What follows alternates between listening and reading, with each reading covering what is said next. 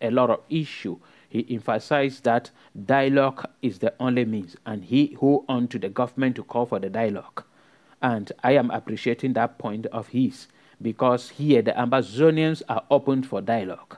I can confirm that because uh, uh, this woman, that, from, that uh, senator, Regina Mundi was kidnapped or taken away by the Ambazonia. And when, he when she returned back, she visited the uh, president of the Senate and told the president of the Senate, that video is on social media, that the Ambazonia told him that he should tell the government to organize a dialogue and call for a ceasefire. The government did not do it. And so the Ambazonia are open for dialogue. We saw what happened with the Canadian dialogue. The Ambazonia, they were ready, but the government canceled it. The dialogue that was to be organized by the, in Switzerland, the government canceled it. The Ambazonia are ready. I'm appreciating him for holding on to this particular point that the government should be the one to organize for a sincere, inclusive dialogue where everybody will, accountability will, and reform is another point. Reform as the way forward. What is the reform? The state of the government. The form of government is a reform that can come to end this. I told you people that the Anglophone crisis is a constitutional crisis, not a military crisis. And a constitutional crisis, we have to go back to the root causes of the Anglophone crisis. Going back to the root causes, we are starting since 1961 or 1960 when French Cameroon got independence. There was nothing like British Cameroon. British Cameroon was still dependent. And then they now to achieve their own independence, we are coming back now to ask the United Nations, why did you ask British Cameroon to join Nigeria or to join Cameroon? And this land, British Cameroon, was divided into two. And one part today is permanently in Nigeria, the British Northern Cameroon. And the British Southern Cameroon came to uh, uh and joined uh, French Cameroon. And to since then, they have been in trouble. They have been marginalized. They have been tortured, maltreated, and treated as second-class citizen. This is what they call reform, as a way out that he mentioned. And they're coming back that okay, it has to be the, the people of Southern Cameroon decided that, okay, we are going to be with French Cameroon. And then they formed the federal system in 1961. And it went operational and eh, officially on the 1st of October 1961. What happened that this, this it eh, was dissolved by Amadou Ahidjo? That is where we have to go back. Reform. And when this was dissolved, the people of Southern Cameroon started suffering because President Amadou Ahidjo started struggling to assimilate the people of Southern Cameroon up to the point that he refused to create an Anglo-Saxon university.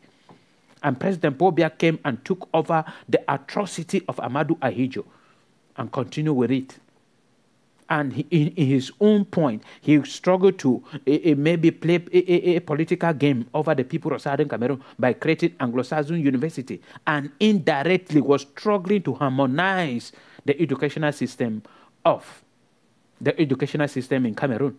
And in that struggling, he frustrated the Anglo-Saxon system of education.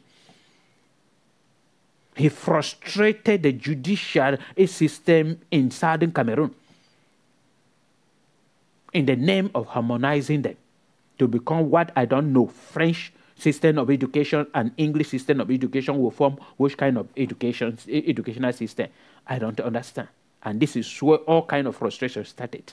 So if we are talking about reform as a way as the way out then we have to go back to all these root causes of the anglophone crisis. Then when we go back there talk about it then we will know where. And it should be when they talk about dialogue, accountability is that everybody should take his or her responsibility.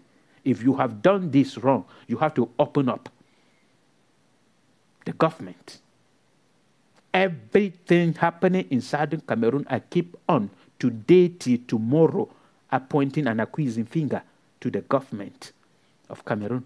They are fully responsible People will ask me, why are you not talking about accusing the Ambazonia? Ask yourself where Ambazonia came from. The name Ambazonia started in 1984. Why? Because President Paul changed the name from United Republic of Cameroon to Republic of Cameroon, the name of French Cameroon. And then that was an indication of total separation. And that is where the name Ambazonia came in. And then when you are talking about this Ambazonia we are having today, that they are they're from the Ambazonia fighter. We are talking about where they came from. They came up in 2017. Why? Because of the negligence and the maltreatment of the people of Southern Cameroon by the government of Cameroon, because of the incapable attitude of the government of Cameroon to solve the problem of the lawyers and the teachers. And they started pushing the police, forcing the police and the Yandans, the military, to go kill the people of Southern Cameroon. And uh, Southern Cameroonians become angry. And those uh, uh, uh, ones who call themselves the Ambazonians say, if we don't come in, our people will be killed upon. And they came in to defend the people of Southern Cameroon. That is why when you look at the history of this crisis, that 2017 when the Ambazonia came in, it turned into this thing we are having today. You discover that it started with all Southern Cameroonians in support. The parliamentarians, the traditional rulers, and everybody in support of it. And then the government discovered that it would be difficult, so it started going behind to buy those power mongers and those money mongers in Southern Cameroon, calling themselves elite politicians and traditional rulers. And that is where frustration started and the crisis and the fight collapse up to date.